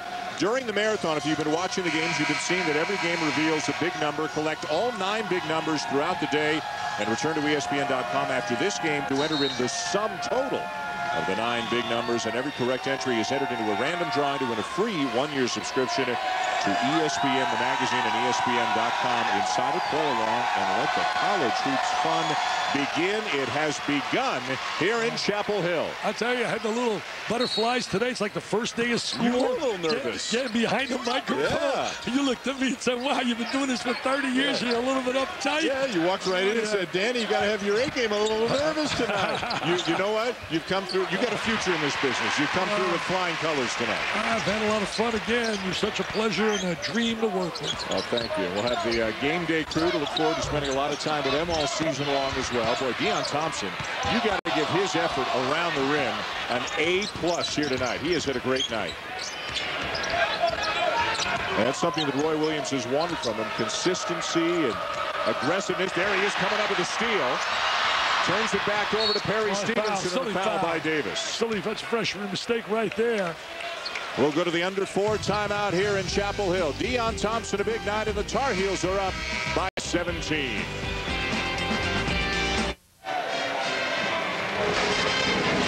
This ESPN telecast is available in high definition on ESPN HD. A chilly night here in North Carolina. We're inside the Dean Dome in Chapel Hill, but the Tar Heels without Tyler Hansbrough, without Marcus Ginyard, have played well. And they've got a 17-point lead on the Kentucky Wildcats. The poll on ESPN.com, which is the greater program, historically speaking, between Kentucky and North Carolina. Carolina getting 62% of the vote. You know why they got that vote? Because the Carolina people have stayed up and they're voting. Kentucky right. people were You really be right. upset with their performance. Yeah. Went to bed. Look at Ashley. She's wearing a Kentucky shirt, but she's in the North Carolina section. She lost the bet. She lost the bet. She Wow. said she campaigned for Barack Obama, and she said if North Carolina voted Democratic, she would sit in the Carolina student section for this game, and a woman of her word. Well, it's a wonderful word, and I think all the guys here in North Carolina are happy she's sitting in that section. Well, I know one guy who is, and he's sitting to my right. I know. you, you got a smile on your face all night long. Hey, I got a kiss from her one time. I can tell I you that. Oh, you Don't told tell me my that. wife Lorraine. No, she's not. She's not watching. My wife- Stevenson knocks him down. Little pressure here from the Cats. You know, you ask a question, what will Kentucky take from a moment like this? Well, number one, you got to take that. You got to handle the ball better. Number two, you got to figure out a way how to get Patterson more involved so it can open up some perimeter play. Number three, I see that smile. That smile is not legitimate. That smile is not legitimate there. That's the legitimate look. He is upset on the inside. He has too much pride. He's a coach that cares. He works relentlessly. This is his mistress. Coaching is his mistress. It's around the clock. He eats it, sleeps it 24-7. There's no smile looking at that board and down like they're down. And they've been down from the opening set. Yep. Should have been down bigger Yep. than what they are. It was 15 to 2 to start the game. Let's go to Erin Andrews for more. And just to add on what Dick was saying, Dan, you know, Billy Gillispie told us today in the shoot around, he feels this team is way ahead of where they were last year.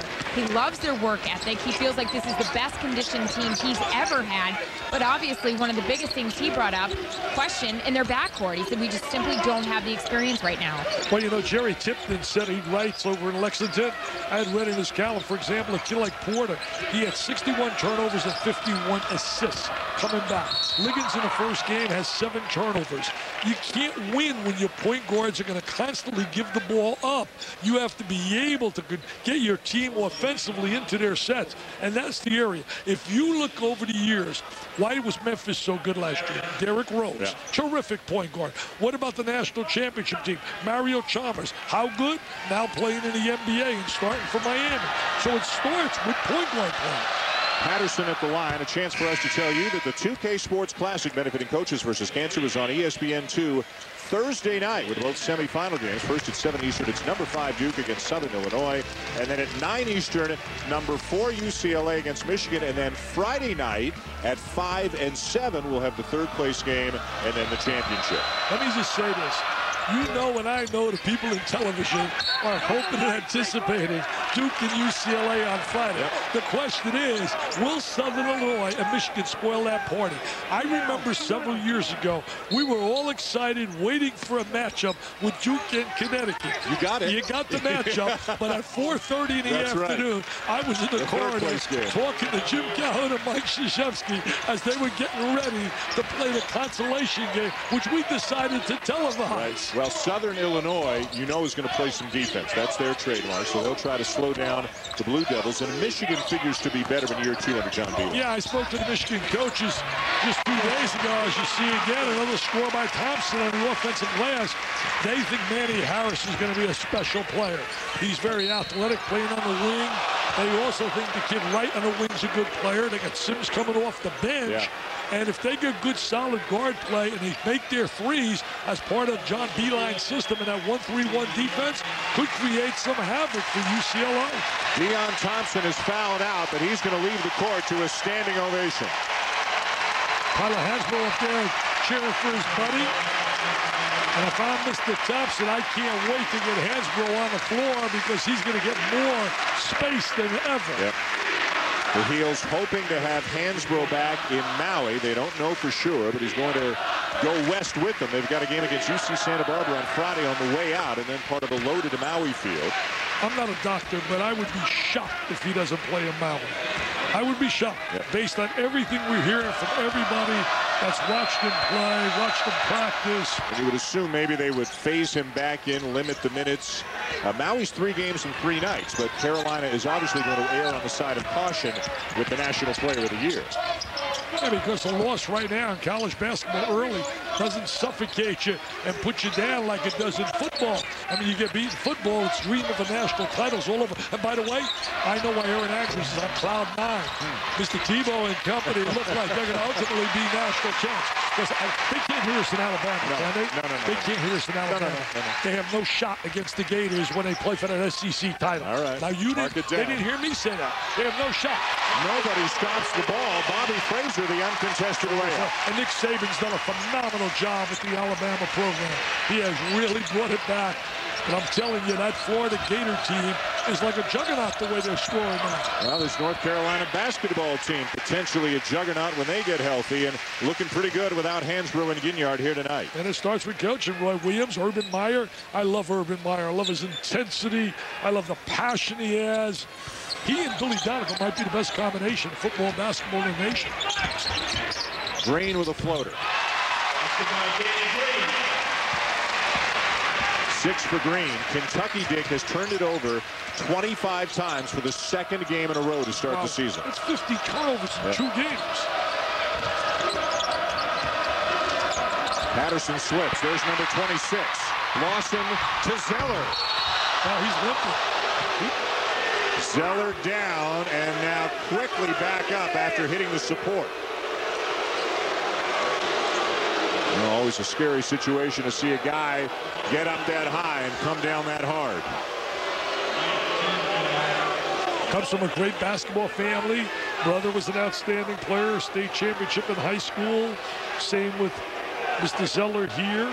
Left Mom wrist, it looks like, Dick, the way he's holding it. His mom's brother was so tough. Played with the Pistons, and I'm telling you, was a tenacious 6'6 forward, Al Eberhard. That's way before your time.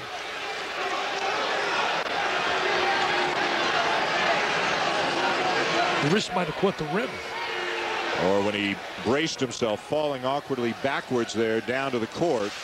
May have braced himself with that left hand to try to lessen the contact and may have actually inadvertently made it worse. Zeller's going to lead for the night and Carolina fans with Hansbrough already out can only hope that Zeller is not seriously injured.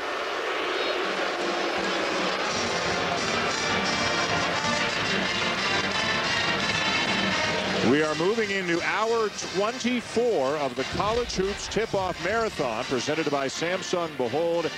Davidson and Oklahoma going on over in E ESPN2 and Arizona UAB still to come half an hour from now on E ESPN2. Roy Williams, though, with some concerns as we welcome you back to the Dean Dome. The concern is not what's on the scoreboard tonight. Carolina's got a comfortable 17-point lead. The concern now the injury to Tyler Zeller would appear to be a left wrist injury. No way of knowing if it's serious or not right now. Dan Shulman, Dick Vitale, Erin Andrews here in Chapel Hill. You know, Dan, you mentioned 24 hours. We approach the 24th hour. When I was at the University of Detroit, I wanted to create excitement. Everyone laughed, and what I did was to create excitement. I had a 24-hour hoops hysteria. I had a marathon where every two hours I had another basketball game. The policeman played the fireman, Right. and right down the line, every two hours until we culminated it with a red-white game with the Titans, and it created a lot of excitement, got a lot of interest. You're ahead of your time. well, I did that 30 years ago, so now ESPN is emulating mine. They're copying my situation. Erin Andrews had a close look at Tyler Zeller on his way off the court. Erin? Yeah, he walked right by me actually to go to North Carolina's locker room. And Dan, the way he was holding it, obviously there's no report. I'm not a doctor, but it was hanging in a way that you could tell he was in pain. And also, I'm going to say it looked a little swollen as he walked away. I've been on a lot of sidelines of football games lately, so I've been used to seeing these guys roughed up. But Well- obviously, you hope it's nothing more. You could see right at the end of the shot there, the left hand coming down. Looks like he was trying to brace the fall, and we may get a better look here. And right there, you Yeah, can see yeah, the, the, the arm and the wrist just bend awkwardly Right. behind him, and hopefully he's not seriously hurt. Yeah, he tried to utilize the left hand to give himself some balance, and that pressure might have really caused the damage. I'm sure they're going to get an MRI, get a look at it immediately, get an X-ray. Intentional foul on Harris. The free throws made to make it a 19-point game. Stevenson called for the offensive foul. The injury to Zeller is the first thing that's put these Carolina fans in a bad mood here tonight. And that'll be number five on Stevenson, so he will leave with three points and seven rebounds. You got to root for certain kids that have battled injuries, like the kid down at Alabama, Ronald Steele. By the way, they got beat by Mercer earlier in the year this year already. Mercer. I mean, those are tough losses. You can't lose those kind of games and really build fan interest and excitement. Stevenson out, and Stewart will come back in for the Cats. But you root for a kid like Steele. You root for Patterson coming back from his injury from last year. Definitely. Bobby Frasor, another guy who's missed the better part of two years with injuries. Yeah, I hope the NCAA allows him that extra year. Here's Frasor coming to get the pass. We near the final minute of play here in Chapel Hill. All Carolina all night long. Hey, you sound like Lionel Richie all night long. I love that song. Yeah, North Carolina really, to me, impressed me defensively. Also impressed me with some of the play of their young people on the inside, like Davis. Thompson certainly was a major factor. But Lawson's pressure on the basketball, I can't stress that enough because last year wasn't there. Ellington forces the turnover, the 28th committed by Kentucky. Green came up with a loose ball. Spinning the court, good spacing, good execution, and North Carolina gets one more game closer to Kentucky. But I have a message for all the Kentucky fans, and they're some of my favorites because they love the game so much. This team will ultimately bring them some good moments. Frasor's asking, should I shoot or let the shot clock run out? So he'll shoot. Right down the lane. Yep. They're excited here with football, Joe. The job Butch Davis has done. 7 and 3 right now. Football. Hey, North Carolina showing why people think they are going to be uno number one. It is all over here at the Dean Dome. Carolina beats Kentucky 77 to 58. The Tar Heels go to 2 0, and Kentucky drops to 0 and 2. Sports Center next year on ESPN. Davidson, Oklahoma over on ESPN 2, and it will be over on ESPN News in just a moment to wrap things up. This has been a presentation of ESPN, the worldwide leader in sports. So long from Chapel Hill. Sports Center is next.